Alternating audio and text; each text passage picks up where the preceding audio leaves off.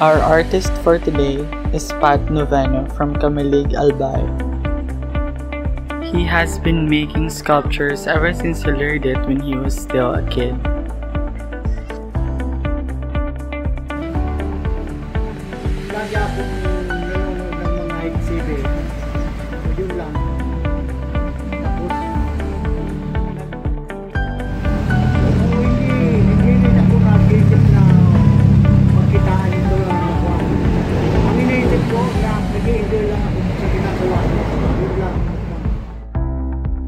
Most of his works are low relief sculptures.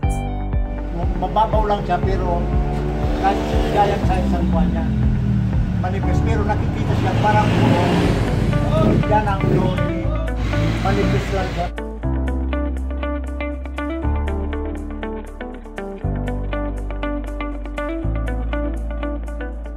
Kalahati na yung lumabas niya. Kaya ang high relief niya.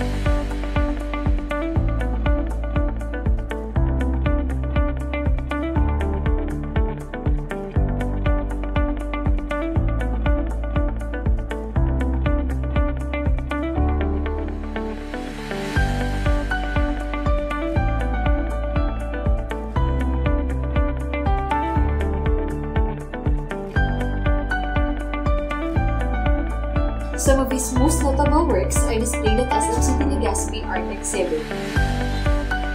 You can go check him out.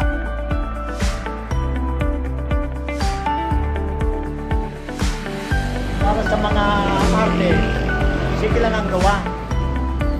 Old artist, mature artwork. Ma- Matanda ka na ang artwork mo, mature na siya.